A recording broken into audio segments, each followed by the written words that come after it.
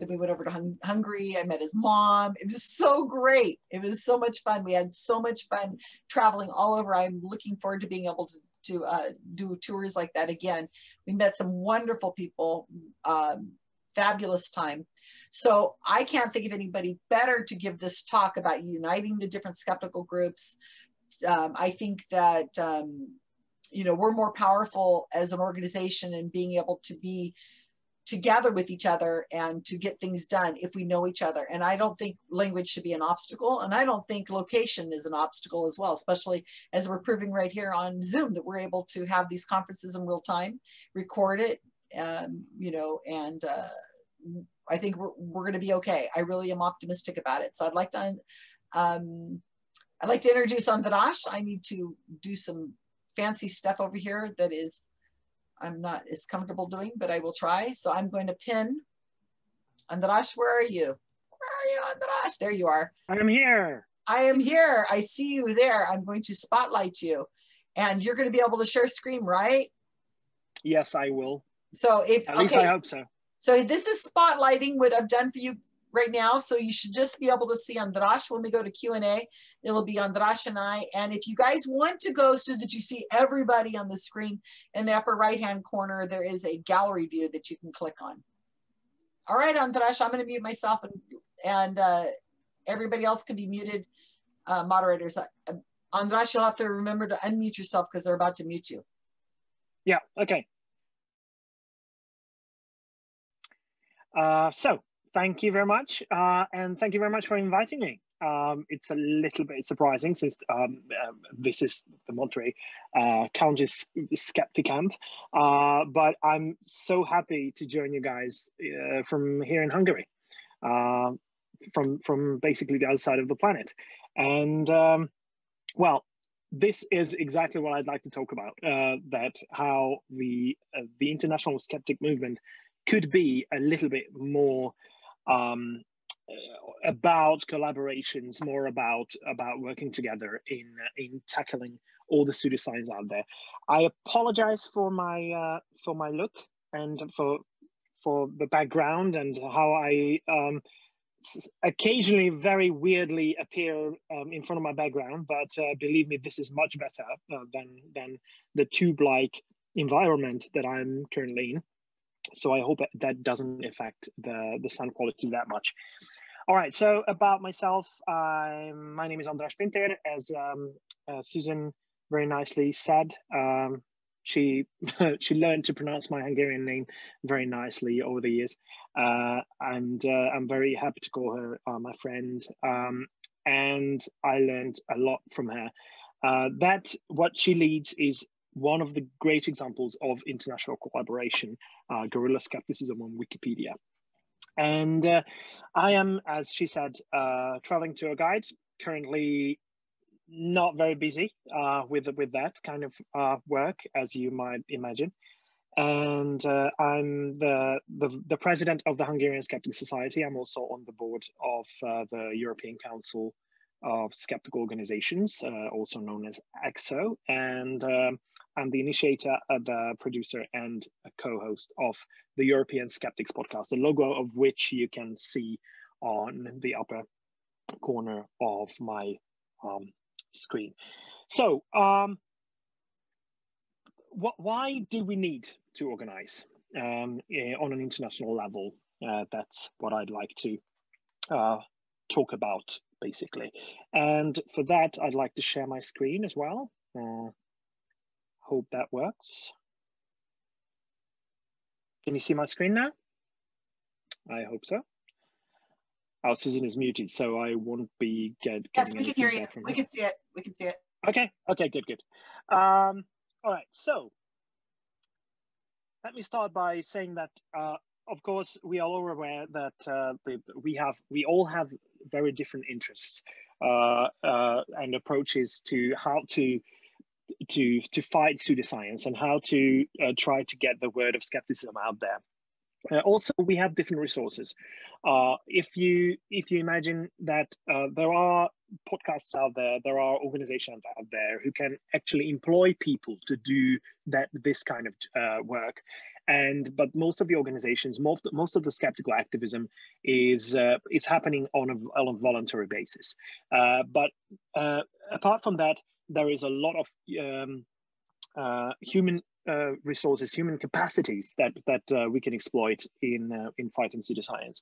Uh, the social environments are very different as well. Um, so for example, when it comes to skeptics in the pub uh, events that can be organized all over the all over the world, uh, in some cultures, going out and listening to talks at a pub environment is is is not really appealing to many but uh, in some environments it's it's it's it goes without saying that sitting in a pub and listening to someone is an amazing um, uh, pastime activity. But the other thing that uh, we have to bear in mind is that is there are language barriers uh, and and and those kind of cultural differences that uh, some uh, uh, sorts of pseudoscience um, go very well in uh, or, or get very much support in one country and doesn't necessarily get that much support in another country. One example being homeopathy, that uh, in certain European countries, homeopathy, the, the support for homeopathy is very, very different. Um, in its birthplace in Germany, it's very, it's huge, it's, it's massive. Everyone uses homeopathy. Uh, but the counter effect is big as well. So the German Skeptical Organization is fighting homeopathy with all the knowledge, all the knowledge uh, put out there uh, by someone. Uh, it, it, was uh, their uh, project was uh, led by someone who's who used to be a homeopath herself, um, Natalie Grams. I don't know if you've heard of her, but if not, please look her up. the, the, the work that she does is amazing but there are there are things that are often overlooked. So I'm not sure that uh, listeners uh, uh, of um, of this, or, those who are watching, are uh, people in the United States uh, who are following the the skeptical movement. There, uh, they probably haven't heard of the the German skeptical organization GWUP or or the international um, information network homeopathy, They are their major project to to tackle that issue. Um, and that is because of the language barrier that I that I mentioned earlier, uh, mostly.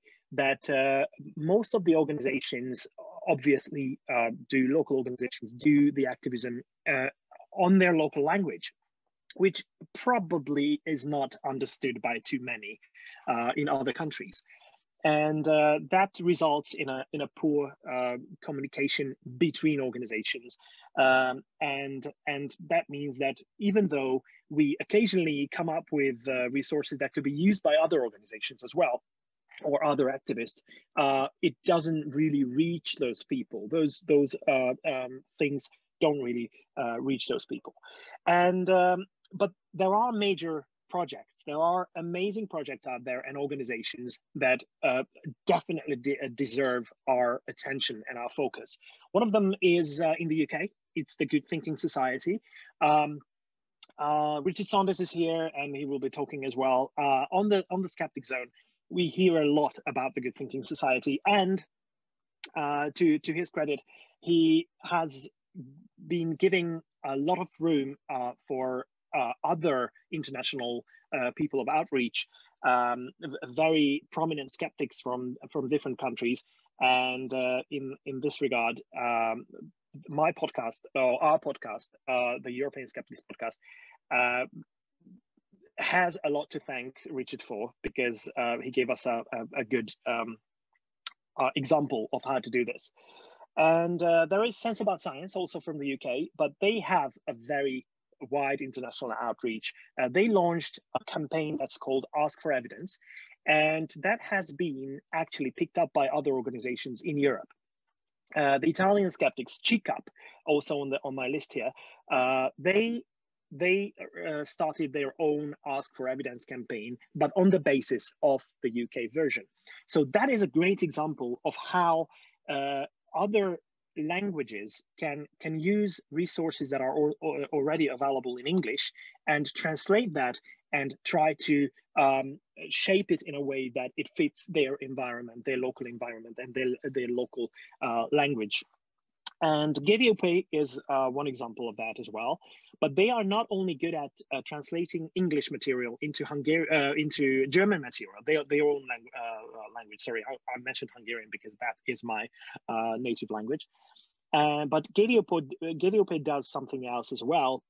they provide, they produce their content basically in German, but occasionally they do translate it themselves so that it, they make it available to others who understand or speak uh, um, English, but they can use those materials by translation into their own language. Uh, so the Czech uh, uh, skeptics, the Hungarian skeptics, we could use those materials, and uh, and that saves us a lot of time and energy because we don't have to come up with something new. We can use what's already out there. And the All Trials campaign, you might might have heard of that. That is truly international. Uh, that was uh, launched partly by Sense About Science as well. Uh, also, uh, Evidence Matters. But I'm I'm mentioning lots of campaigns by Sense About Science and the Good Thinking Society. And I have to mention something about this: that they are the organizations that have the resources, financial resources, uh, I, uh, I, I have to add, to employ people to employ people so that they can do this full time.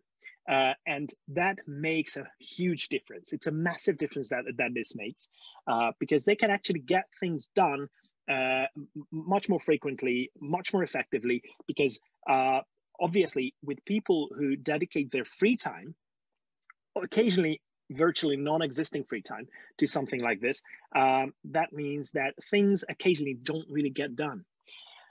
Uh, Yalansavar, uh, you might have heard of that. Um, that's uh, a Turkish um, project uh, for Turkish audiences, which is a massive, a massive audience. So uh, the the, the, the Turkish speaking people in the world, uh, they are very massive in numbers.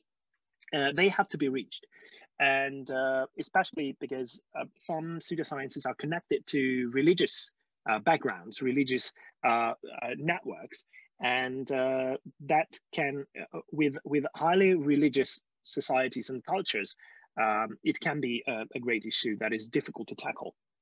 And there is a swiss think tank as well uh, that has been do, uh, uh, producing uh, english speaking content as well. So there is a lot to to to keep track of but the the other side of that is that pseudosciences don't respect borders. Uh, they don't stop at a border of a country. It doesn't matter whether uh, and it's it's in Italian, it's in German, where uh, how it how it was born. It can be translated, and boom, it's it's already spread across Europe and then across the whole world. Uh, I'm usually uh, approaching things from a European perspective, uh, firstly, uh, and that is because that has been our focus for uh, a great many years. But uh, when when you uh, what are what are the the, the most uh, important examples? COVID nineteen denial that we've seen a lot in 2020. Uh, that is truly international. We've seen a lot of translated content in different countries of different speaking different native languages uh, that that originated from other countries. Uh, some uh, some of them were were uh, produced in English, like uh, Vaxxed and um, and obviously um, a pandemic that uh, that was a massive hit all over Europe as well. So it doesn't matter that it, it wasn't produced in a in a language not spoken by all. climate change denial, we've seen it all over the place as well. Uh, just reaching different corners of, of uh, the world. The anti-vax movement, uh, support for homeopathy, uh, the flat earthers uh, had their words uh, spread like wildfire as well, even though it's probably the most important, uh, the, the, the most ridiculous, absolutely nonsensical kind of pseudoscience. chemtrails, Susan mentioned how I was wearing a chemtrail.hu um, t-shirt when we were having our first lunch together. And uh, that was a bit of a bit, bit uh, little project of the Hungarian Skeptic Society um, that, uh, I, as far as I know, gave uh, a, a, good um, idea to to some other European um, uh, organizations. So what we did was uh, we put up a website, uh, chemtrail.hu, with all the correct information about contrails and uh, how uh, clouds are forming and uh, how airplanes are being tested for their balance and all, and all that, that stuff. And we made up these t-shirts and went on to one of their conventions. And they they were absolutely excited about that that that that some someone has that kind of t-shirt and they wanted to buy those t-shirts. And uh, we directed them to the website uh, chemtrail.hu and um, and they they were so excited. So we basically um, did a bit of a trolling kind of uh, action there. Uh, but we are very proud of that that um, I, I don't know how to to what extent it was due to that uh, action of ours, but the the chemtrail movement in Hungary basically died out. So it's it it has very little support in the country as as of now. Uh, but also there are all kinds of conspiracy theories that we can mention. But there are other issues that we have to uh, bear in mind, and uh, that is that the the, the pseudoscientific um, ideas can spread with the support of large scale international organizations. One of them is the WHO. Uh, you probably all know that the WHO uh, has had a great support for traditional Chinese medicine. Um, it, it doesn't necessarily mean that they, they do propagate that, but they did include it in their manifesto when they came out with recommendations um, for for the world of healthcare, and that was that was quite a controversial issue, but it is something that shows that an international, large-scale international organization of great respect can peddle pseudoscience as well in their own way. And the other uh, organization of that kind is the European Union. I'm very fond of the European Union. I think that is one of the greatest things that have emerged uh, of uh, European politics. But uh, the, the European Union also has support for homeopathy, indirect support for homeopathy, and they are serving the anti GMO sentiment uh, all over Europe uh, with the legislation that they put through uh, the, the European Parliament and the European Council. So if we look at that, that is a great challenge to the international movement because as long as we have the support of the European Union uh, towards something that's absolutely nonsensical, how can we argue that this should be off the shelves of the pharmacies? The, the, the legal environment allows for that. How can we argue that it shouldn't be there? So this is an issue that we only can tackle if we work together. So we have to be stronger and we are only stronger if we work together. Uh, it is the way this, that, that science works as well. So it's a great example. Uh, when, you, when you look at the, the, the fight against COVID-19, uh, you have to notice how it was an international endeavor. It the the the fight for a cure, the fight for the vaccine, uh, and it's it's an ongoing uh, development that there are still projects that are ongoing, uh, but we at, have at least three vaccines readily available at the moment as we speak. And uh, that is thanks to an international collaboration um, in the world of science. And that is because science knows exactly the, the, the method of science is based on the shared knowledge and experience and the criticism towards uh, the, the new outcome and the criticism towards everything uh, that is that is new in science so that we can make sure that we don't do anything stupid uh, in the long run at least. So and we have to combine our resources and efforts. So as in the world of science one organization and one uh, research institution cannot do everything. So we have to split the work and combine the resources And this is what I argue for on an international level in the skeptic movement as well. Uh, and one of the reasons why we need to do that is because we have to build up some lobbying potential. And uh, we have to make sure that uh, by lobbying, we don't mean the, the thing that uh, conspiracy theorists often mention about um, the lizard people uh, controlling everything in the from the background, and especially George Soros. Um, sorry, I, I when I speak about him in an English speaking environment, I only I always uh, say Soros, but the original name of his is Soros, which is Hungarian because he's of Hungarian origin. Uh, but the other thing is that, and I've already mentioned that partly, is that when we look at each uh, organization's work and some activists uh, how, and what kind of work they do, um, and we share it with each other, uh, then we can get inspiration. I already mentioned how Richard Saunders inspired us to, to, to, to start the European Skeptics podcast. Um, and, um, and that is a great, a, a great power uh, that, that we have if we, if we share all our knowledge and experience.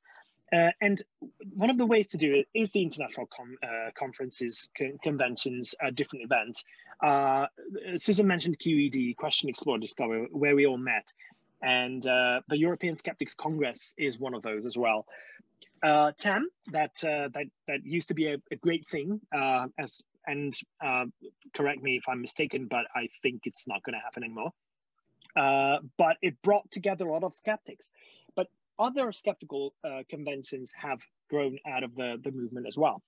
Uh, but Skeptics in the Pub events can bring people to, together on a local uh, um, scale.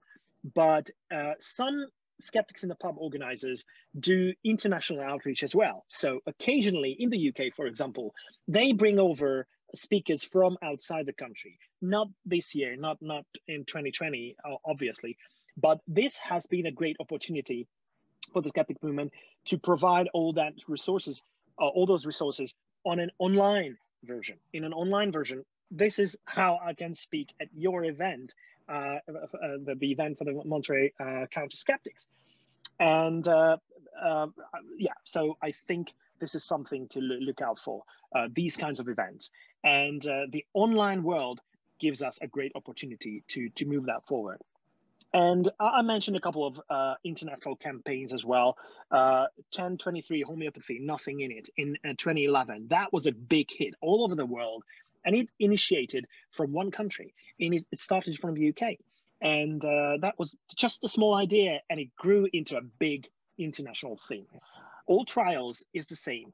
Guerrilla skepticism on Wikipedia, thanks to um, Susan, uh, it, it has a, an in, a truly international team of editors, and that to see that occasionally that is absolutely amazing and uplifting.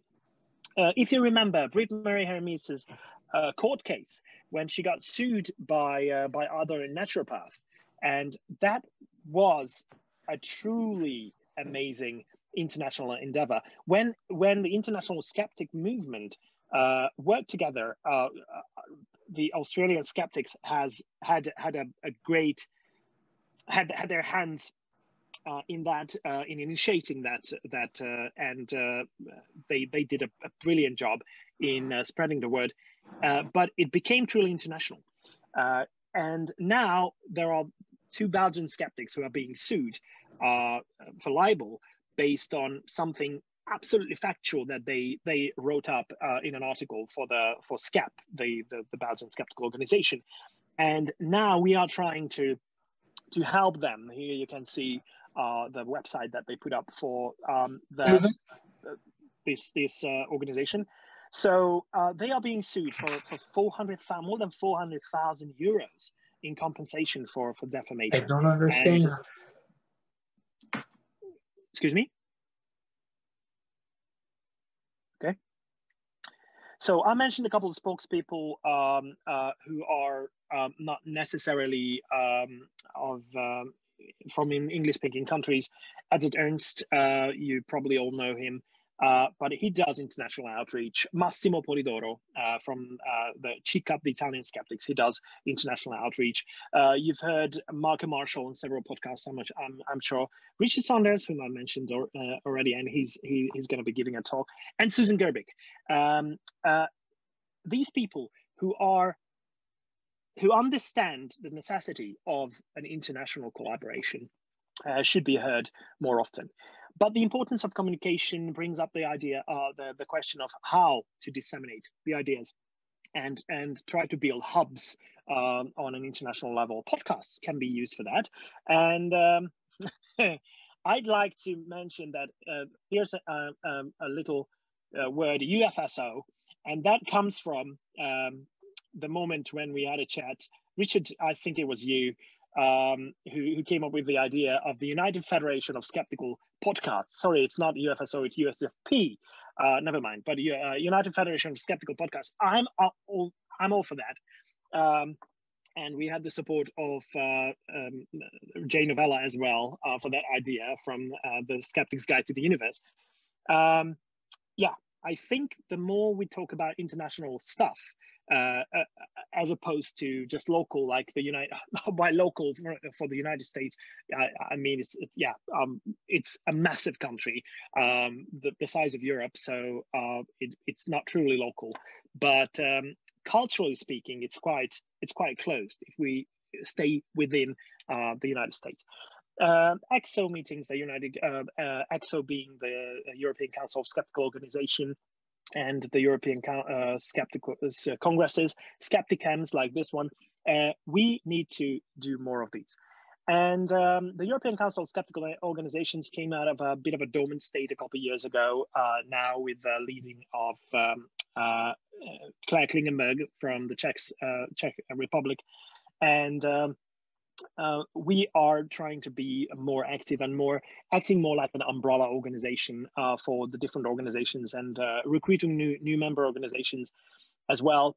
Uh, we try to unite those um, different groups of skeptics uh, and, and provide administrative support for them and uh, trying to operate on an international level, organizing events and encouraging and supporting actions on a European level not necessarily truly international, I mean, outside of the European scope, but um, we try to educate and we try to reach uh, EU legislators as well. We're not doing currently not doing very well on that on that front, but uh, we are trying to recruit people who can do much more uh, and do some lobbying as well.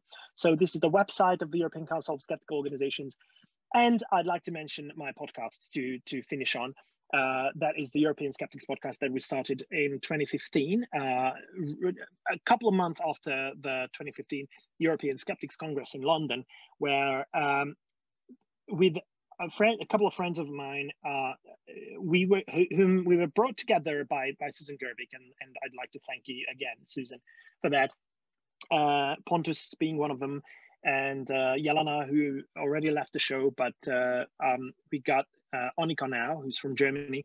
And we try to provide a, a mostly European focus, but we we interview people uh, who are the major players of international skepticism, not necessarily from Europe. We we've had uh, other skeptics from all over the world as well. Uh, we've uh, conducted well more than more than hundred uh, interviews so far, and uh, we uh, report on events happening across Europe. Uh, we have different segments that we try to educate uh, our uh, audiences.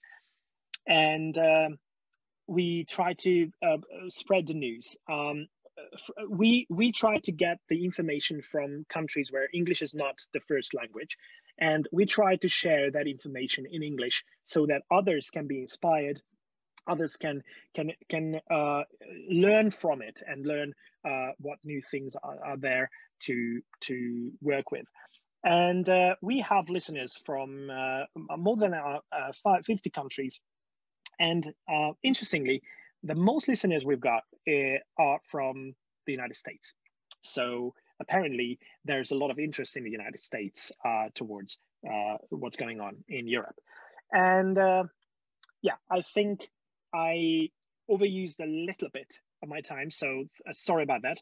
But uh, I what I'd like to say to to to close this with is that we need to unite. We need to work much more closely together on an international level, and uh, basically learn from uh, each other and learn what's going on in each other's countries. And uh, this is what we're trying to provide with the European Skeptics podcast as well. Uh, but we need organizations on an international level as well. Thank you very much for your attention. That was terrific. That was terrific. Thank you so much, Andras. That was great. Now let me just Thank you. let me figure out Thank how you. I can spotlight myself on here as well so that I can um, ask you a few questions. Okay, so it should be you and I. Oh, wow, this Zoom thing is pretty cool. Hello. Things that, that we've learned from um, this pandemic that we're, we're able to do it. We've got a couple questions that, because uh, we have a couple minutes before we're going to go to the next speaker.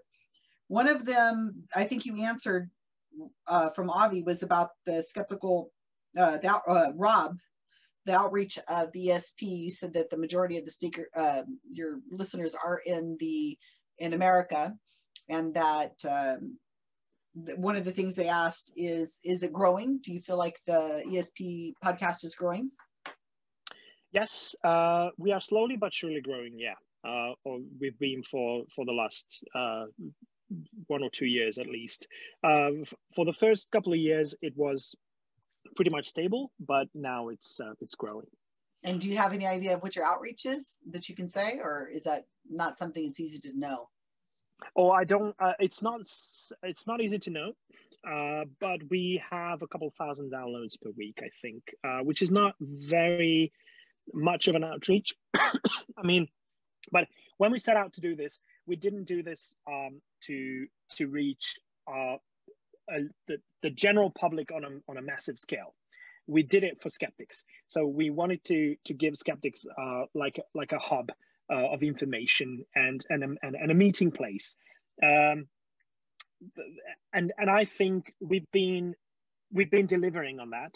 Mm-hmm. Um, but uh, that means that with a world so full of um, skeptical podcasts in English, uh, I'm I'm pretty sure that one of the reasons why we don't have a better outreach is is that that uh, they are or their feeds are already full of of uh, of brilliant podcasts, uh, which we've been trying to live up to that um, and and those others. Uh, but I truly believe that we are doing something different. Yes, I agree. I think this is uh, podcasts to me. I think are probably the way we're going to be able to get our message out faster and cheaper and to a wider audience. And uh, Richard Saunders will be talking about that again. And I think that especially if we're going to be doing more podcasts in English, we got to really watch to make sure that we're very different from each other.